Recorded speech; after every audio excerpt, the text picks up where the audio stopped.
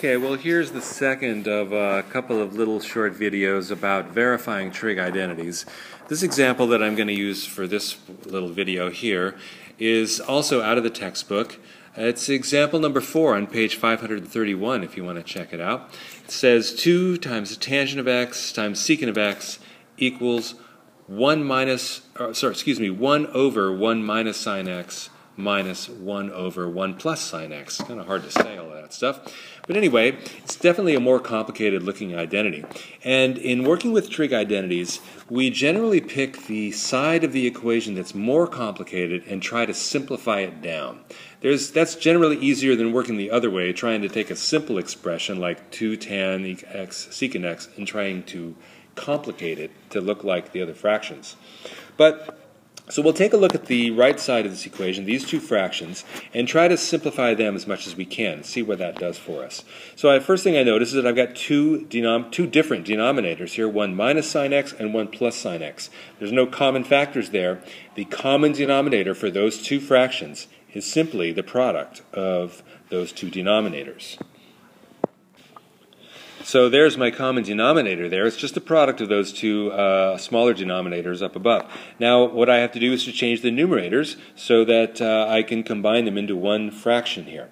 And fortunately that's not too bad because each original numerator is just a 1. All right, I have a 1 here. So uh, all I have to do is multiply the 1 times 1 plus sine x, and that gives me, obviously, 1 plus sine x. And then also over here on the this other fraction, uh, I'm going to say 1 times 1 minus sine x. Um, but I have this subtraction sign in here, so I have to bring that down. So minus, and then a very important little detail here, especially when I'm subtracting, I want to use parentheses. So it's 1 minus sine x here inside the parentheses. And uh, I want to take a look at that for a second and just focus on this big old fraction here in the next slide. Okay, so to just look at the right side of that equation there, um, let's take a look at what happens when I take away these parentheses on the top of the fraction. Um, I'll have uh, the same thing on the bottom, of course, but on the top I'll have 1 plus sine x minus 1 plus sine x, right? The minus uh, the subtraction sign right here, when it's uh, being applied to this minus sine x, means I'm subtracting a negative. So that's 1 plus sine x. And so, uh, just to leave the denominator alone for a second, my final fraction here, when I simplify the numerator, is going to be 1 minus 1, so that's nothing. And then I just have 2. I have sine x plus sine x. That's 2 sine x. So 2 times sine x over my uh, big denominator here, 1 minus sine x times 1 plus sine x. And the next step will be to take a look at that denominator and see if there's some way we can simplify that denominator.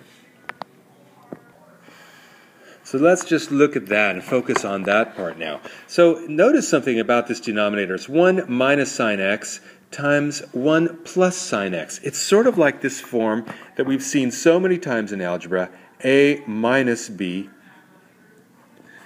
times a plus b. You've seen that a million times, and you know that this equals what? You know what this equals. This equals a squared minus b squared. So this original fraction that I've got here up, uh, up above is really just in the same form.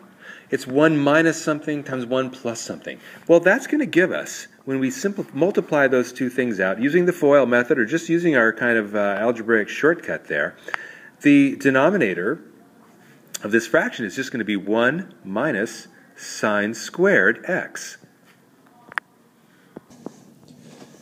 Well, that's pretty nice because we know that 1 minus sine squared x equals cosine squared x. So this right side of the equation now simplifies down to 2 sine x over cosine squared x.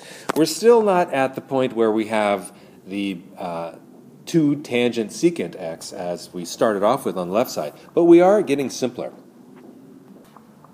So the next step that we're going to use to break this, uh, this fraction here, 2 sine x over cosine squared x, up, may look a little strange at first.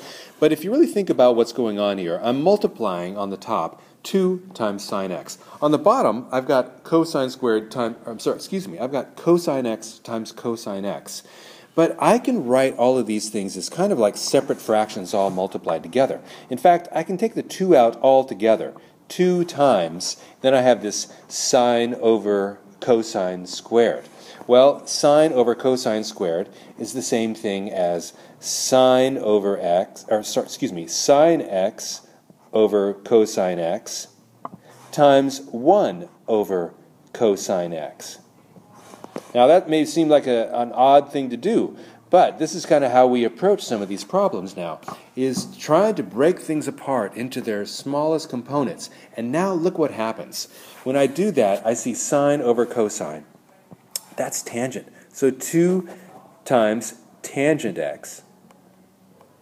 And then 1 over cosine, well, that's the same thing as secant x. So secant x. And now what we have is the original identity 2 times tangent x times secant x. If we go back to our very first slide here, where we started off, you can see there's the left side of the equation 2 tangent x times secant x. And we can see that finally, after doing all of that stuff, oops, one, we end up with 2 tangent x secant x. So here we go. We're done. QED.